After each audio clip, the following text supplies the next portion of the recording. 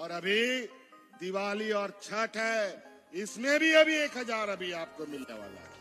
नमस्कार साथियों, मैया सम्मान योजना की चौथे किस्त को लेकर एक बहुत ही बड़ी अपडेट सामने आ रही है। आप लोगों को लाइव दिखाने वाला हूँ कि हेमंत जी की तरफ़ से, यानी कि हमारे माननीय मुख्यमंत्री जी की तरफ़ से क्या कहा गया है चौथी किस्त को लेके, और इसका पैसा आपके अकाउंट में कब तक आएगा? आप सभी माताओं, बहनों के खाते में कब तक चौथे किस्त का पैसा जो है वो ट्रांसफ़र किया जाएगा? कहा गया था कि छठ पर्व के समय पे आप लोगों को खाते में ये पैसा भेज दिया जाएगा, लेकिन अभी तक पैसा आया नहीं। हालाँकि ये प्रोसेसिंग शुरू हो चुका है। जल्द ही आपके खाते में पैसा आने वाला है। अपडेट के साथ आप लोगों को जानकारी देने वाला हूँ। साथ में आप लोगों को हेमंत सोरेन जी का भी अपडेट दिखाने वाला हूँ। कल्पना सोरेन जी का भी अपडेट देने वाला हूँ कि उनका क्या कहना है इस मामले में और ये पैसा आपके खाते में कब तक ट्रांसफ़र हो सकता है। तो सबसे पहले आप लोगों को यहाँ पे ध्यान देना है। देख सकते हैं हेमंत जी की तरफ़ से क्या कहा गया है। यहाँ पे साफ़ साफ़ देख सकते हैं।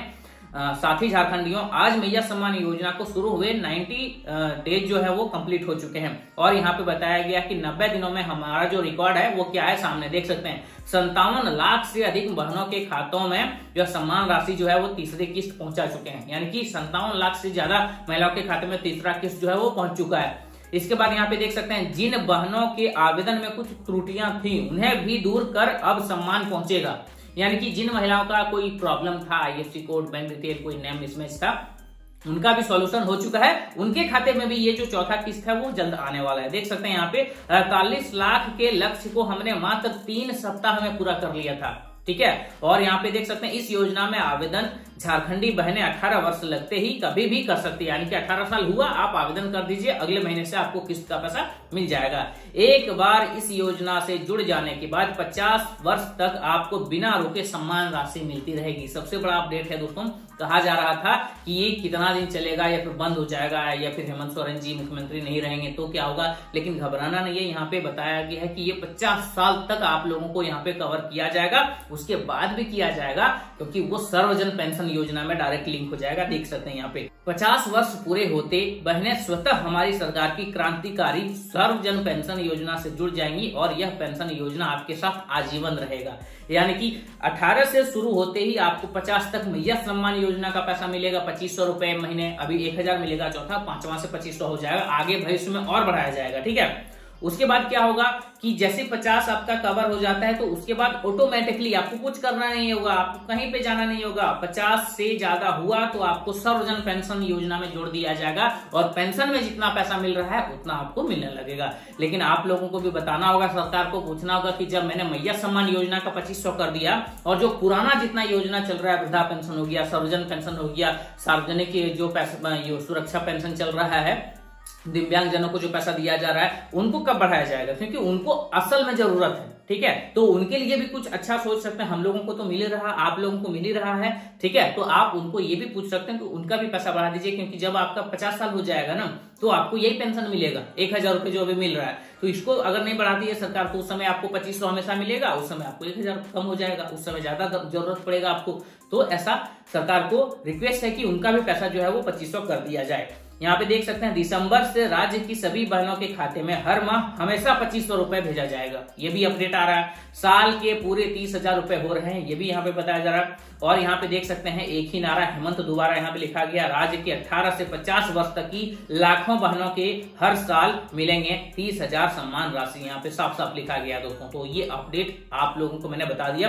अब बात कर लेते हैं कि चौथा किस्त कब आने वाला है। तो देख सकते हैं दोस्तों, आप लोगों को बताया गया था हेमंत जी की तरफ़ से, यानी कि हमारे माननीय मुख्यमंत्री जी की तरफ़ से कहा गया था कि छठ पर्व के शुभ अवसर पर हम चौथे किस्त को पैसा जो है वो देने वाले हैं, यानी कि चौथे किस्त का पैसा हस्तांतरित करने वाले हैं। छठ पर्व शुरू हो चुका है और इसका जो प्रोसेसिंग है दोस्तों, वो भी काम शुरू हो चुका है, यानी कि आप सभी माताओं बहनों के खाते में एक हज़ार रुपए का जो किस्त भेजा जाने वाला है, उसका काम शुरू हो गया है। जल्द ही, मुझे तो लगता है दोस्तों, आज शाम से ही आपके खाते में पैसा जाना शुरू हो जाएगा। एक दिन में तो आएगा नहीं, लेकिन हालाँकि शुरू हो जाएगा, क्योंकि आपको भी पता है कि हेमंत जी ने जो कहा है, उनको पूरा करना ही होगा, क्योंकि उन्होंने कहा है, जैसे भी करे, भले शुरू कर दे, लेकिन करेगी सरकार, ठीक है? इसलिए आप लोगों को घबराना नहीं है, जिनको की ऑलरेडी तीन किस्त का पैसा मिल चुका है, उनको कोई टेंशन नहीं लेना है, उनके खाते में डेफिनेटली पैसा आ जाएगा। बस ध्यान दीजिएगा कि आपके बैंक अकाउंट से एनपीसीआई लिंक हो, यानी कि डीबीटी का जो होता है, वो लिंक होना चाहिए, ठीक है? और आप लोगों को ये भी बता देना चाहता हूँ कि जिन माताओं बहनों ने नया नया आवेदन किया है, उनका क्या होगा? तो उन्होंने तो अभी अभी अप्लाई किया है, फिर आचार संहिता लग गया, उनको स्वीकृति तो मिला नहीं है, और जब तक आचार संहिता हटेगा नहीं तो उसका काम शुरू होगा नहीं, स्वीकृति मिलेगा नहीं। तो आपको क्या करना है, जिन महिलाओं ने नया नया आवेदन किया है जिन लड़कियों ने नया नया आवेदन किया है इस योजना के तहत, उनको कुछ देर वेट करना होगा। आचार संहिता हटते ही आप सभी महिलाओं के खाते में भी ये स्वीकृति मिल जाएगा और अगले किस्त का पैसा भी आपको मिल जाएगा। साथ में अभी जो आपको पैसा रोका गया है ना, उस किस्त का भी पैसा उस समय मिला के भेज दिया जाएगा। बहुत सारी महिलाओं को यानी कि इस योजना के तहत टोटल तीन किस्त अभी तक आ चुका है, लेकिन बहुत सारे ऐसे महिलाएँ हैं जिनके खाते में एक दो किस्त का पैसा नहीं आया। उनको क्या करना होगा? उनका अगर कोई प्रॉब्लम है और उन्होंने ठीक करा लिया, जैसे आईएफसी कोड का प्रॉब्लम था और अकाउंट नंबर का प्रॉब्लम था नेम मिसमैच का प्रॉब्लम था, ठीक है? या फिर कोई टेक्निकल एरर भी था, जिनके सब, जिनका सब कुछ सही है, फिर भी पैसा नहीं आया था, ठीक है? या फिर डिबिटी लिंक नहीं था बैंक में। तो अगर उन्होंने सही करा लिया है तो उनके खाते में डेफिनेटली पैसा आ जाएगा, कोई रोक नहीं सकता है। बिना रोक, बिना टोक के पैसा आपके खाते में आ जाएगा। लेकिन अगर वो प्रॉब्लम आपके साथ, आपके अकाउंट में, यानी कि जो योजना के तहत आपने दस्तावेज़ दिया है, उसमें वो प्रॉब्लम अगर है अभी तक वो सॉर्ट आउट नहीं हुआ है तो इस बार वाला भी किस्त आपको नहीं मिलेगा, लेकिन घबराना नहीं है। जब आप सही करा लेंगे ना तो पिछला जितना भी आपका रोका गया था, सब एक साथ मिला के आपको दे दिया जाएगा। पैसा काटा नहीं जाएगा यहाँ से। ऐसा नहीं होता है कि मतलब एक महीना का किस्त अगर इनका रोका गया तो अगले महीने उनको अगला किस्त का दे देंगे या फिर उनका रोक देंगे। नहीं, जब सही हो जाएगा ना वो, जो भी आपका एरर था, जो भी गलती था, जो भी मिस्टेक था, उसके बाद आपको जो रोका गया पैसा, वो भी साथ में दे दिया जाएगा तो घबराना नहीं है। तो चौथे किस्त का पैसा जो है, वो आप लोगों के खाते में जल्द ही क्रेडिट करने वाली है हेमंत सरकार, और आप लोगों को अपडेट देते रहूँगा कि इसमें क्या क्या हो रहा है इस योजना के तहत क्या क्या नया यहाँ पे आ रहा है, अपडेट क्या क्या आ रहा है, कब पैसा आ रहा है, कब नहीं आ रहा है, जिनके नहीं आ रहे हैं उनको क्या करना होगा। तो इस चैनल के साथ जुड़े रहिएगा, सब्सक्राइब बटन पे क्लिक करके रख लीजिएगा, फ्यूचर में काम आएगा। जैसे कुछ नया अपडेट आता है, मैं आप लोगों को वीडियो के माध्यम से जानकारी देता रहूँगा, इसलिए चैनल को सब्सक्राइब करना मत भूलिएगा।